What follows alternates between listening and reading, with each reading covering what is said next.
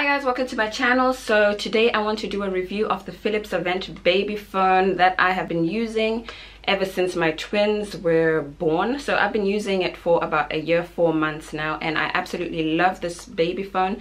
It's a simple baby phone. It's um, also not so expensive. It just gives sound no video. So it comes with two pieces. Both have cables to connect to electricity.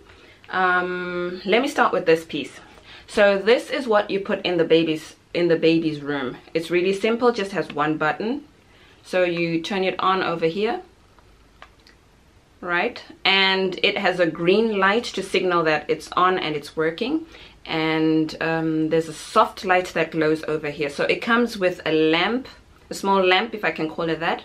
You switch it on over here, just press and hold. There you go.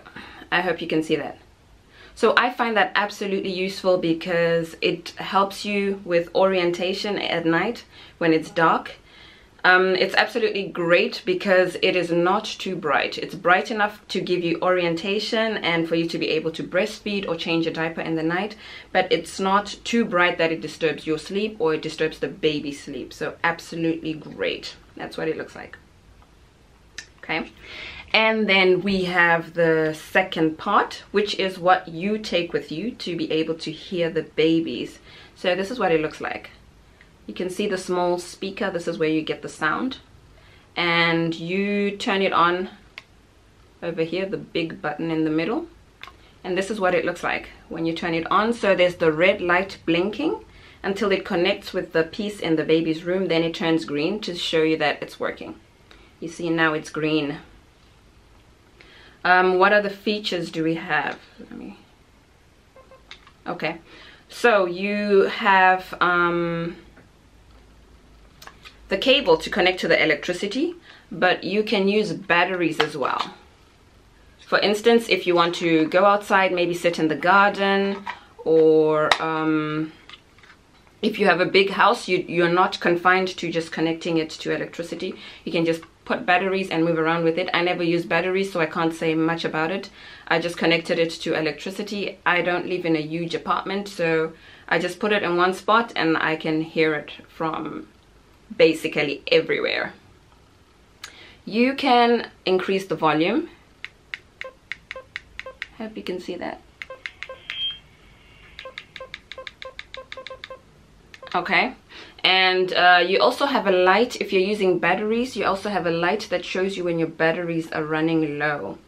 So it's simple and it has worked very well. I've never had any malfunctions with this baby phone. And I definitely would recommend it for anybody looking for a baby phone. And it has a security feature which I find absolutely great and necessary. So here's the thing. If some creepy person thinks they can crawl into your baby's room and harm them or whatever and they think they can just switch off the, the baby phone and you don't hear anything, they are wrong because what happens is that the moment it's uh, the piece in the baby's room is switched off, you get an alarm. So let me see if I can demonstrate that. I hope it works because it's too close, but let's try it. So I switch that off. That's what goes into the baby's room. I switch it off. Let's see what happens. It usually takes about 20 seconds to react. Now it's blinking red. And I guess it gives you a chance to rectify the error. And if nothing happens in about 15 to 20 seconds then an alarm goes off. And then you know something is wrong. There you go. And then it goes off every 15 seconds until you either switch that back on or switch this off. So let me just switch that off okay so that was it for my review of the philips Avent. Baby phone i hope you found it useful. Don't hesitate to share this video with anybody who might be looking for a baby phone. And um, if you haven't subscribed please subscribe and check out my other tips videos. Um, yeah so i hope you enjoyed the video and thank you so much for watching. Bye